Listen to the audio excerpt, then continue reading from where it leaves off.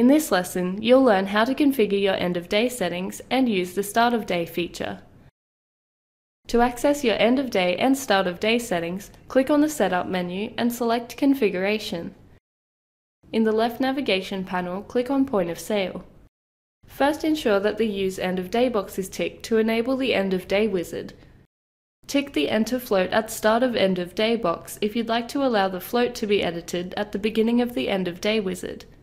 Having this option enabled will also prompt you to exclude the float when you enter your takings for the day. If you leave this box unticked, you'll need to enter your takings including the float. The start of day feature is used as an additional security measure to ensure that your float is recounted at the start of the day before any transactions are completed. The start of day wizard is located in the transactions list. When selected, it simply prompts you to count and confirm the starting float. To enable this feature, tick the Use Start of Day box.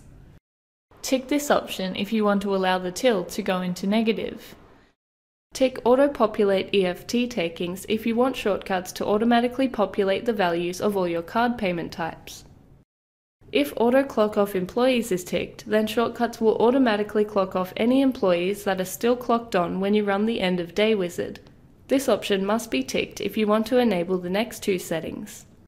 If your closing procedures take extra time after the end of day wizard is complete, you can allocate one or two end of day employees who receive extra time to complete closing activities.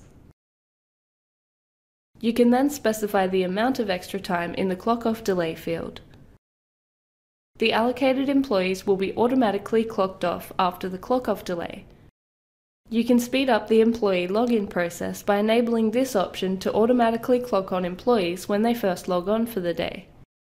Press Done to save your changes.